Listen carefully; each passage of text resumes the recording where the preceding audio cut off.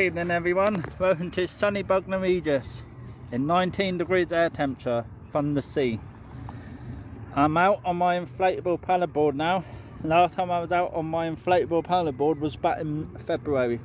So nice to be back out in my element, wearing my shorts and fessed up.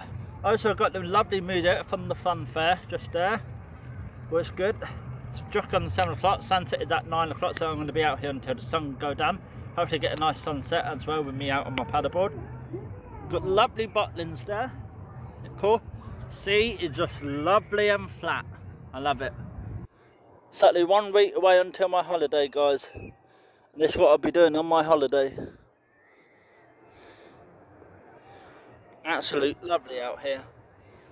Is only a quick update just to let you know that I'm out on my inflatable paddleboard enjoying life as you should. And you only get one life so you need to make the most of it while you've got it, guys.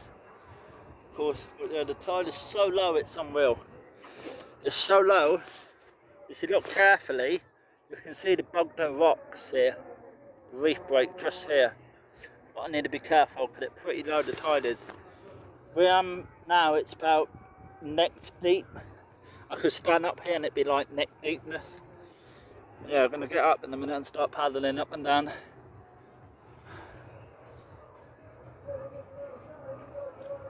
Happy bank holiday weekend everyone. From me, Stuart Allan, the and drone pilot. If anyone out at the fun fair this weekend, please let me know if you are and I'll come down and meet up with you and take pictures if you want. Alright, catch you all later guys from Bognor Regis on Friday the 28th of May 2021. Currently at 8 minutes past 7 in the evening. Sunset is at 2 minutes past 9 now and it's 23 days away until the start of summer until the longest day of the year alright guys catch you later bye for now